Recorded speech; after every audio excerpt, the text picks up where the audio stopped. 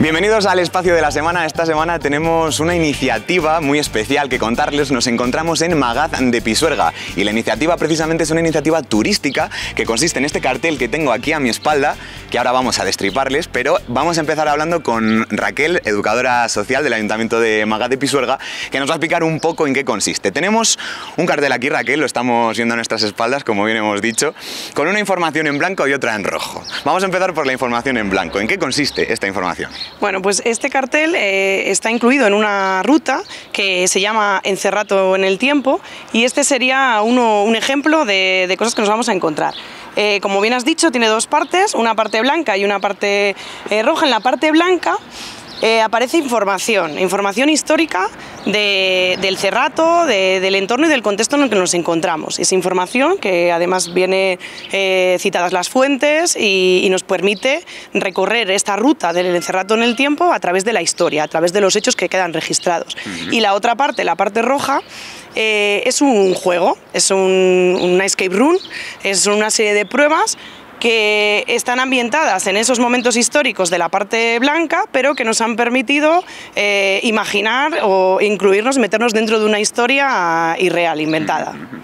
Estos carteles, eh, que esto no lo hemos comentado, están distribuidos a lo largo de todo el pueblo, de toda la localidad, y como bien estamos explicando, en la parte blanca les podemos explicar pues todos esos datos que son históricos, que son reales, ¿no? Y a su vez, a la derecha tenemos esta parte roja, esta escape room, que para gente, espectadores que nos estén viendo y no sepan lo que es una escape room, pues es una especie de juego, ¿no? Para que la gente vaya de prueba en prueba, esta es la inicial, y vayan recolectando determinadas pruebas y resolviendo determinados acertijos para poder llegar hasta el final y ganar el juego que ahora explicaremos en qué consiste. Vamos a abrirlo, Raquel, porque yo creo que hay muchas ganas ¿no? de ver lo que hay detrás de este... Aunque tampoco vamos a hacer mucho spoiler. Abrimos. Aquí lo tenemos desglosado, ¿no? Bueno, como decimos en la parte blanca, parte turística, ¿qué podemos encontrar en, estos carteles? En este caso vemos Magaz en el Tiempo, el Cerrato, Tierra de Pastores. No sé si nos hablan aquí de los pastores, de los chozos, ¿no? en, este concretamente se habla de los chozos, eh, situado en eso, en, el que el Cerrato al final eh, tenemos un origen, hay un pasado de, Tierra de Pastores. Eh, además los chozos son muy importantes en la historia del juego, porque el chozo se convierte en un elemento eh, por el que vamos al pasado, por el que en el caso del personaje que hablaremos más adelante eh, es capaz de transportarse al pasado. Eh, pero además, como es en la parte blanca, en la parte histórica, los chozos aparecen porque cuando hablamos del Cerrato Palentino hablamos de, de chozos, de cabañas de pastores, de arquitectura tradicional de piedra seca. en otros paneles nos podemos encontrar flora y fauna del Cerrato Palentino. En otros carteles nos podemos encontrar usos, oficios, tradiciones que nos van a ayudar a conocer el contexto de Maga de Pisuerga y el contexto del Cerrato en general. Del Cerrato por consiguiente, eso es. Y lo que es la iniciativa y vamos a decir lo más especial de estos carteles es que a la derecha siempre tenemos, en base a lo que hemos leído en el apartado turístico, tenemos el juego, ¿no?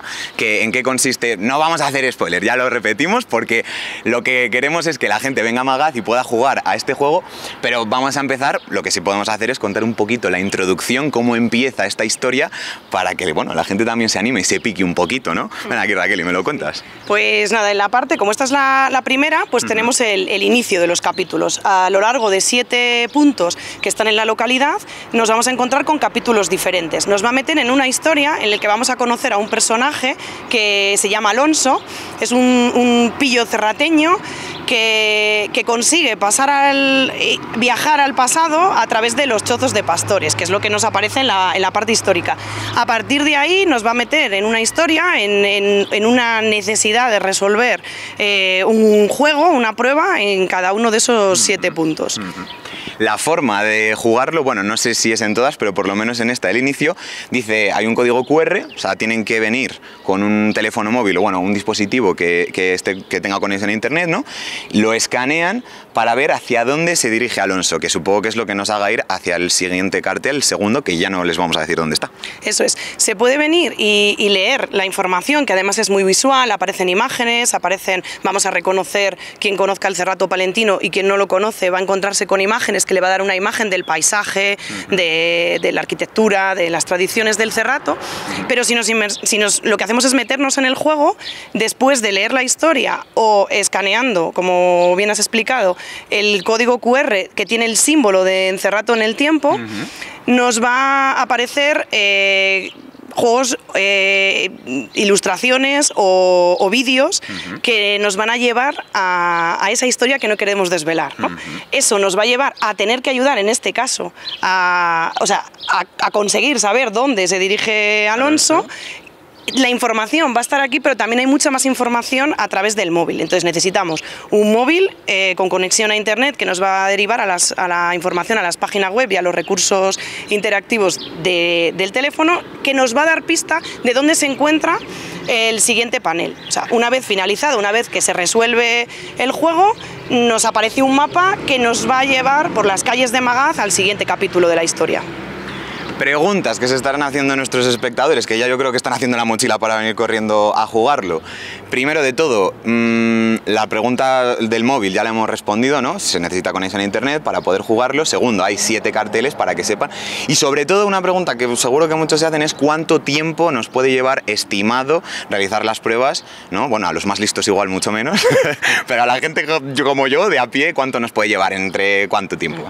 Sí que es verdad que eso depende de, de la práctica que tengas en juegos parecidos, en Skate Room, o lo que conozcas o no, o la localidad o, o el cerrato. Pero sí que está estimado en, en- puede ser un recorrido de dos horas para hacerlo tranquilamente, dos, tres horas, o incluso puede, se puede venir a Magaz, recorrer alguno de los capítulos y seguir y continuar otros días para seguir adentrándote en la historia hasta que cierres el, el capítulo final, el capítulo 7.